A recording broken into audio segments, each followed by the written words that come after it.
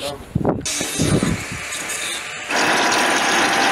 сегодняшний день э, два танка, две единицы обслужены и поставлены на ход. Это Т-34 85 калибра и ИС-2.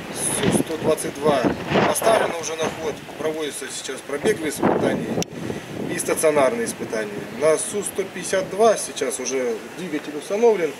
Проводится монтаж двигателя монтаж коробки передач, замена резинотехнических изделий.